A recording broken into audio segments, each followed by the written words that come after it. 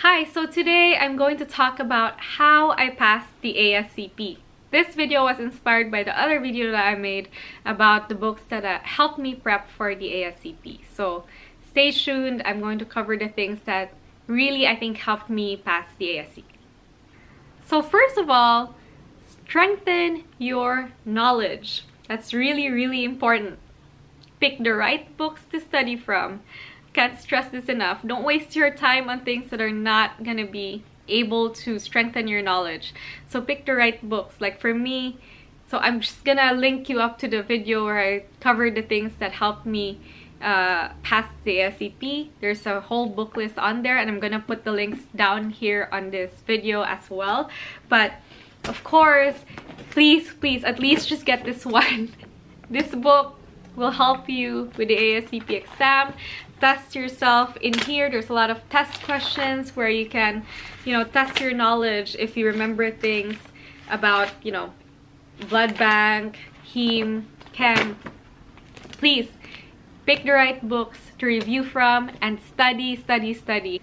With that, I'm going to give you the second tip focus on the departments that are heavy on the exam and these are the main departments that are gonna be on there hematology including of course coagulation blood bank uh, chemistry and the main ones pretty much chemistry and I think I'm missing one microbiology one of the biggest chunks in clinical science. So focus on those five.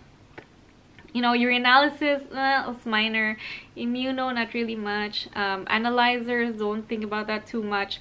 But blood bank, oh my gosh, blood bank. A lot of people got blood bank questions. Know your antibody panel. Make sure you know how to do screening. The antibody panel is so yeah, so important. If you don't get it, go to blood bank guy. Blood bank guy will take care of you.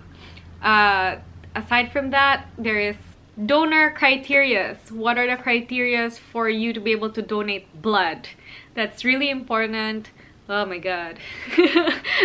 but yeah, focus your energy on the main branches because there's a ton of questions that they can ask you from those like chemistry, the hormones, the enzymes, liver enzymes, uh, urobilinogen, bilirubin stuff, those things are all important thyroid um, tsh those things. Yeah understand them and memorize them. And for micro i think you know you just have to go with this book. This book it'll tell you everything I promise you, this is like the simplest, easiest book for micro. And I'm, I'm also gonna link this down below. Please get this. This is the easiest book to study for in microbiology. I love this book.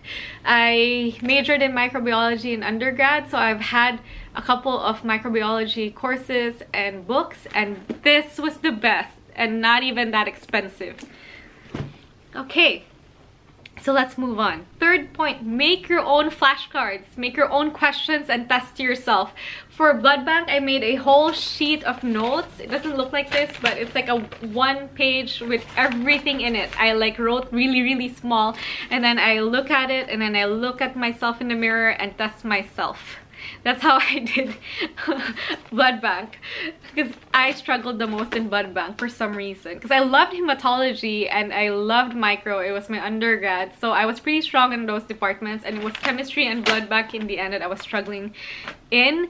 And chemistry, I kind of understand hormones so it was kind of okay but blood bank was completely new to me i just met it during the internship program and so it was hard for me to really like memorize and understand the thing. So what I did was I wrote everything and tested myself off of those information. So you have that retention when you write things and you have even more retention when you ask yourself those things that you wrote. Okay, and another thing for you. So I think this is the fourth tip on this video. Fourth tip, don't cram. Okay, don't cram, my god.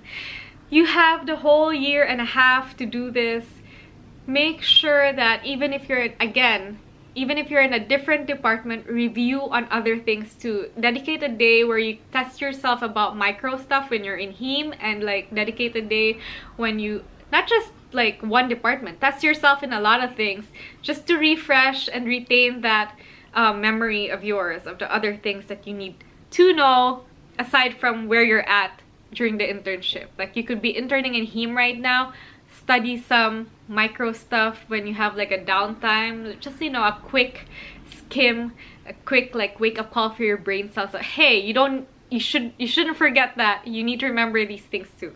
If you do crab during the exam day, can you, can you imagine like putting all of this information in your head two days before the exam. That's just not, it's not gonna happen.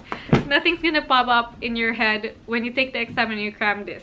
This is a lot of information. Last but not the least, we all know that if there's a big occasion the next day, you kind of get antsy the day before and it's kind of hard to sleep. For me, I found it really, really, really hard to sleep the day before my exam. So what I did was I actually took an expired Benadryl. I'm not saying take it. No, that's not what I'm saying. What I'm saying is find something that would calm you down before the exam, the night before the exam. Because I have friends that weren't able to sleep and were like really stressed out when they took the exam. At least get that seven to eight hours of sleep so that your brain resets. And when you go there, you're fresh, you you can like do anything you feel good you look good you're well rested and you'll be able to smash that exam no problem. So again, I just have to reiterate that you only need 400 points to get licensed for the ASCP. I don't know what kind of questions they're gonna ask now. It's been two, it's been three years since I took the exam.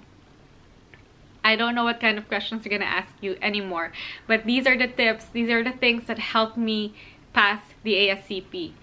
I have faith in you. I'm pretty sure you will pass it. If you're watching this video, I know you're doing your best. So those are the things that worked for me to prepare for the ASCP and you know got me passed through it. If I did, I'm pretty sure you can too. So that's it. Good luck to you and hopefully, you know, you get through it like me and like all of the other ones that got through it.